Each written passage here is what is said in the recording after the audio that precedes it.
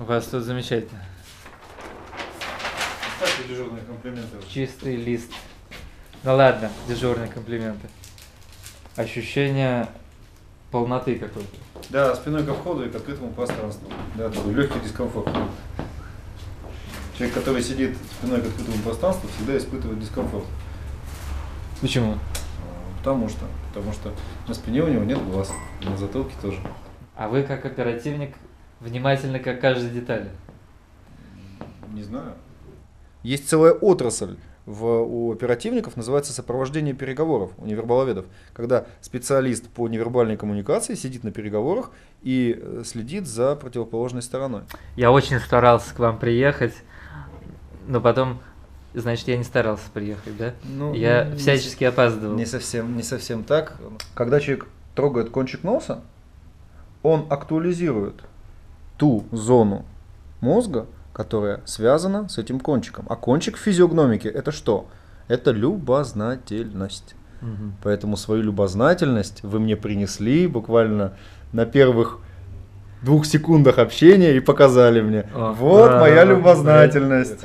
Да. Вы, э, не подозревая об этом, не выстраивая логических цепочек, еще только увидев человека, Мгм. либо у вас появляется некая такая приязнь, да, такая, знаете, предтеча эмпатии, да, либо вы интуитивно возникает какой-то сразу настороженность, да, что это такое? Да потому что ваш мозг уже считал мимику, жесты, голос, одежду, походку, прическу да, и лицо в том числе.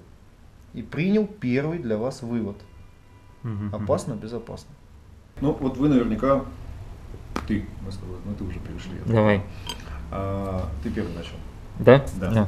да. Ну, Просмотришь потом по видео Да, да. минуты две назад. Он наверняка занимался и знаешь там какие-то основы эзотерики, да, все Мгм. равно там, может быть, йогой занимался. Вот так, умеешь? Ну, видно же по тебе, конечно.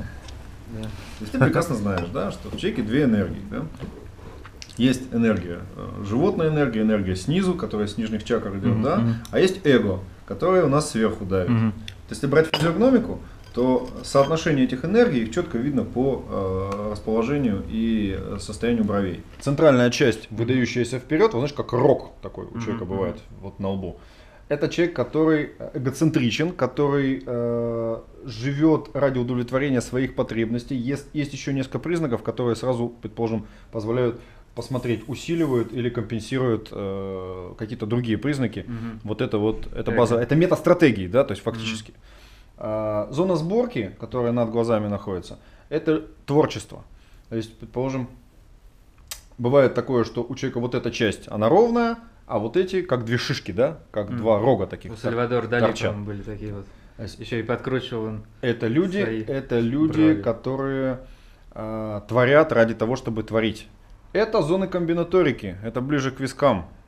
То есть это человек, когда выдающиеся вот эти височные зоны, это человек, который все по жизни просчитывает. Мгм. То есть, если у человека жидкие брови, то это высокий кон- самоконтроль, высокое эго. То есть эго становится сильнее, чем его энергия нижняя. Мгм. То есть нижнее это то, что я хочу, а энергия, а верхняя это то, что я должен.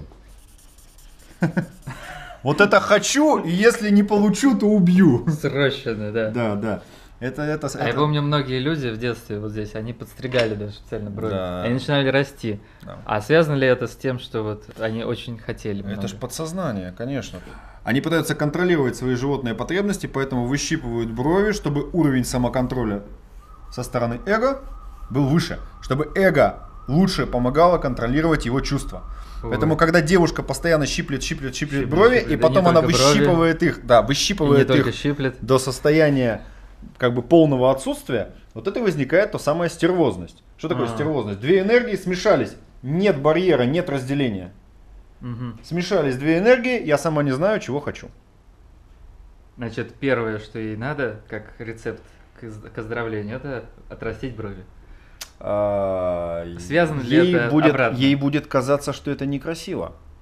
А вот когда она удовлетворит свои потребности первичные, Мгм. так мягко выразимся, да, то Она сама у нее возникнет желание перестать выщипывать себе брови.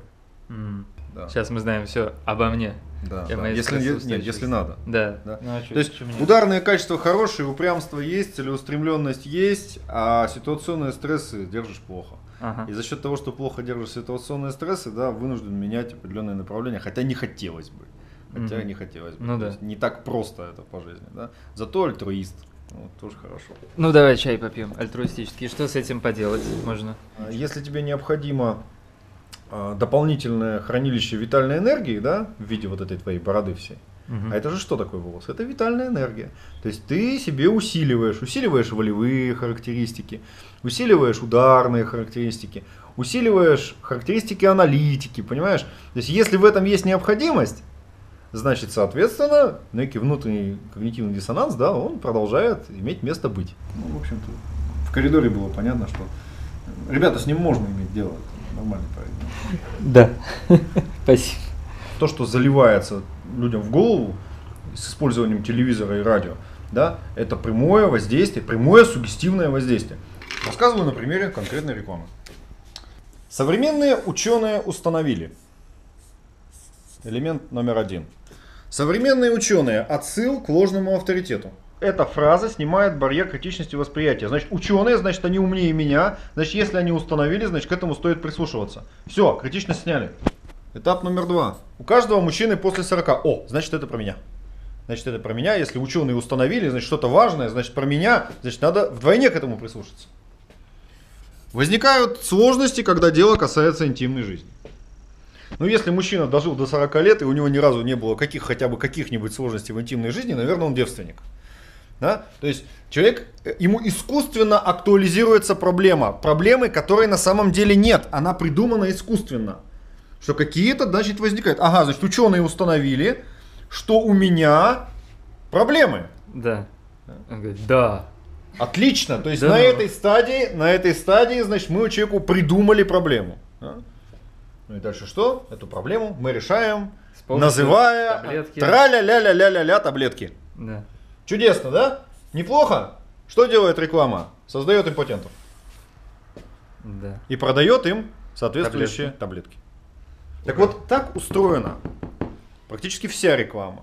Есть вторая половинка рекламы, еще второй блок, да, который э, работает на первичных инстинктах, да, там, где появляются там голые женщины, там все остальное. Но вы же прекрасно понимаете, что вот такая схема, скотская, свинская, гадская схема, она бьет человеку прям в мозг. И она у него остает, оставляет на подсознании такие вещи, которые потом оттуда не вытравишь, потому что вот этот блок, он никуда не делся, проблема-то она осталась.